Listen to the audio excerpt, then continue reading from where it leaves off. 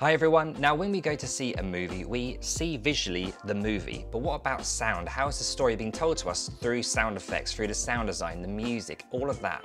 Today I'm going to explore with you how you can transform your film from being something that sounds a little bit meh and a bit uninviting to the audience and something that's more, hmm, I don't know what I'm saying now, to the audience. You know what I mean. Let's get into it.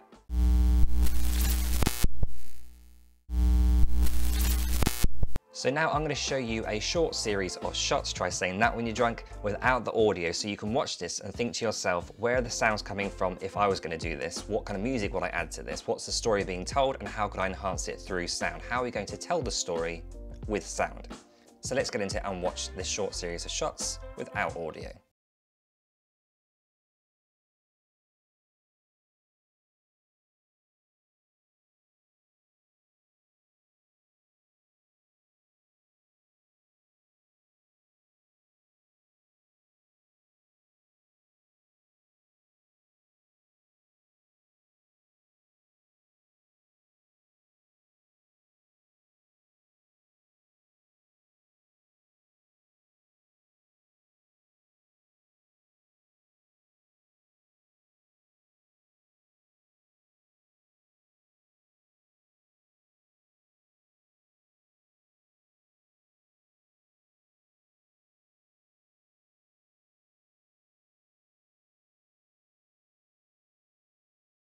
In this first scene, we can see there's traffic in the background. There's a car that passes immediately. We've got the bus there. Also, the footsteps, how slow, how fast are they, the speed of them, the shoes. He's wearing trainers, but is the person that you're doing a scene on wearing high heels or something like that? The surface is going to make a difference as well. So, is it on concrete? What kind of surface is it? And air tone, the actual atmosphere of where he is, what are the sounds around him. In this shot, we're going to look at the hand on the gate, put a little tap on the gate there. That'll be a nice little effect as well as the gate unlocking. Here we've got the environment, so the oven's open, has it just been switched off? Has it got that whirring sound? Is there a clock inside this room that's ticking? Or the washing machine, is that on and whirring away? All these things we need to think about that can bring this whole world to life for the audience and the story that we're telling. Outdoors here, it's a bit breezy, a little bit windy. We want to decide how kind of we want that wind to come across. Is it a strong one? Is it just a light breeze?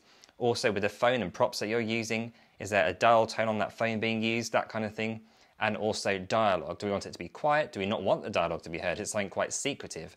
Or is it something that we definitely want the audience to hear because it's very important to the story and bringing it to life as well? So how am I doing this? Well, I'm using Epidemic Sound. This is an amazing software that you can get for fairly decent price that will bring you 35,000 tracks, 90,000 sound effects, the first month's for free. I'll put a link in the description below so you can hit that link right now and get yourself a free month.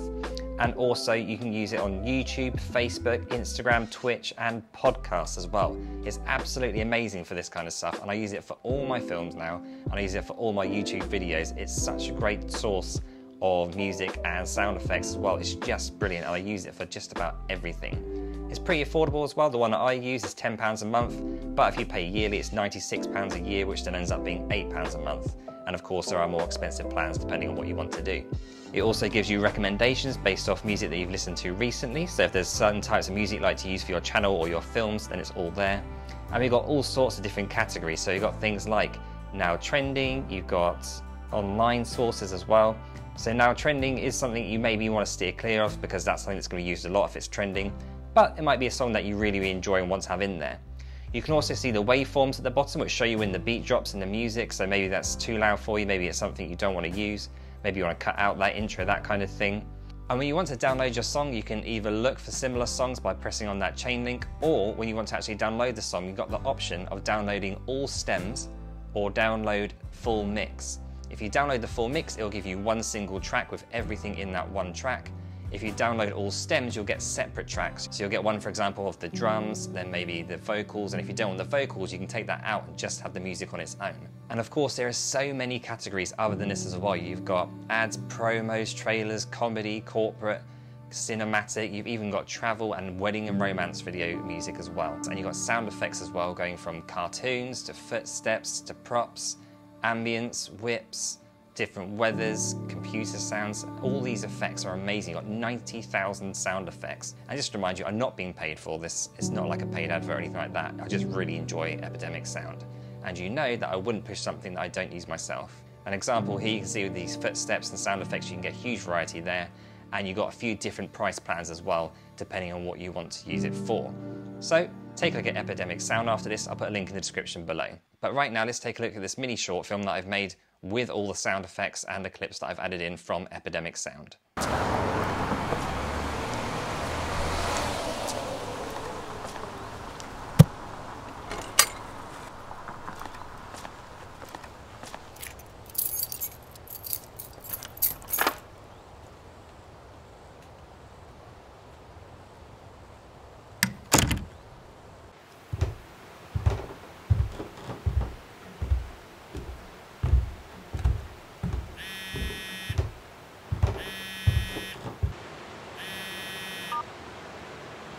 Hi, babe. Yep, we sold the place. Better start packing our bags. Miss you. See you soon. Bye. Love you. And now I'm going to show you this film with two different soundtracks. So the sound design is really going to step up now. And I want you to think about what these songs tell you about the story.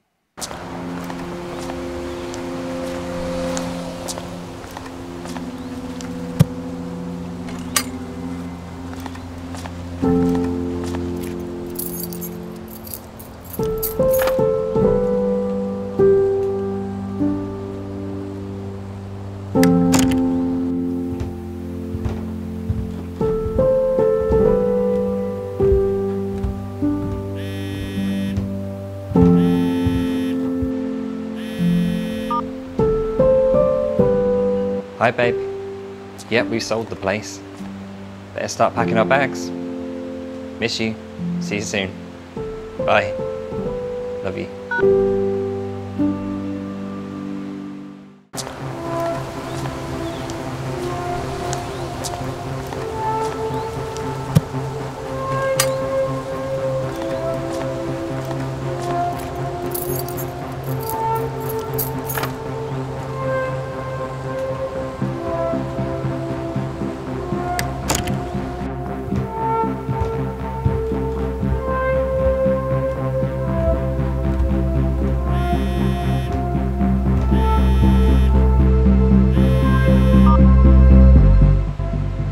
Yep, we got her. She's not even subscribed to the channel.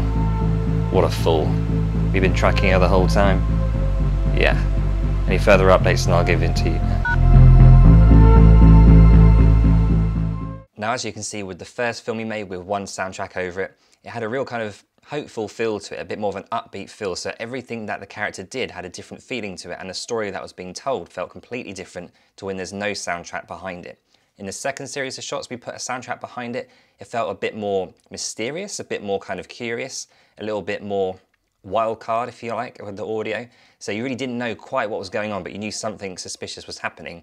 And then at the end, you find out that he's found out who isn't subscribed to his channel. Let that be a lesson to you all. So that's how you tell a story with sound design and music. It's a really interesting way to change your film and tell a story in a different way. If you're on a low budget or have no budget, then YouTube's audio library is a really good resource for getting good tracks and songs for your films and filmmaking too. There's also sound effects, which you can click on there, and you can go through a whole range of sound effects. It may not have everything you want, but there's quite a lot here as well, and it's a really good option to use, as well as freesound.org. I've used this a lot as I started out with my filmmaking. It's a free resource. You just type in what you want, and mostly it has something that you'll be able to use, and most of it's pretty good quality as well. Of course, you can record Foley sounds afterwards after you finish filming to get good sounds as well. The one thing I really want all of you to take away from this, which is something I'm taking away from it as well, is how are you going to tell your next narrative story through sound design? What sound effects are you going to use? How clear are they? How quiet are they? What are you choosing for audience to pick up? What are you putting towards the background a little bit? And what kind of music are you going to put there, if at all, in your film as well to help tell the story? So how are you using sounds to tell your story? If you want to know more about smartphone filmmaking, then check out my playlist right here. If you want to learn more about sounds and microphones and that kind of thing you can get for smartphone filmmaking and filmmaking in general, then check out the video here. See you on the next one. Take care. Bye bye.